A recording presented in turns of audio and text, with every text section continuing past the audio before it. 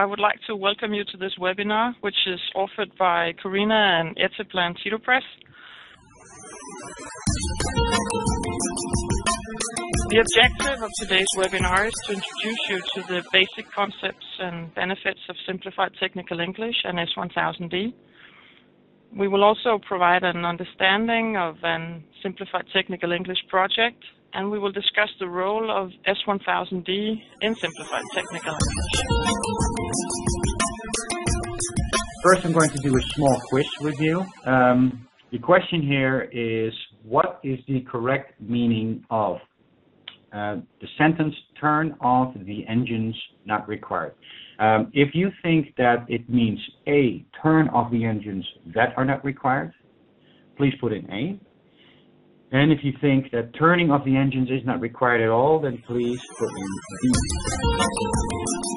As I mentioned, English is more complex than you think. Um, set, run, go, take, stand. These are all quite simple words.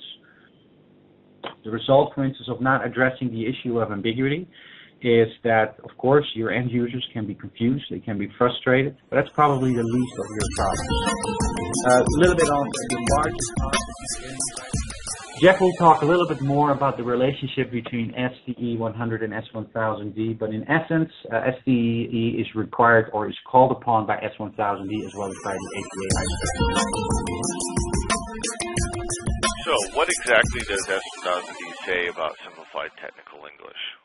If we look strictly at the chapter itself, right in chapter one, it, it states that if we so, so these are types of examples of where S1000D is asking uh, projects to state these things in their business rules.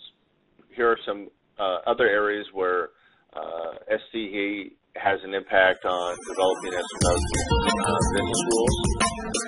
90% to 96% compliant. So you can see that the use of a checker tool actually can be quite handy because it really allows you to just get a few of the errors that you didn't see or that you oversaw to basically get all of those out of the uh, out of the way. So what we would like to offer you in that regard is to uh, let us know if you are interested in a content reality check. Uh, uh two case studies very quickly, uh, one for Rolls-Royce same goes with uh, American Airlines. It's a client that we are very happy with that we're dealing with right now.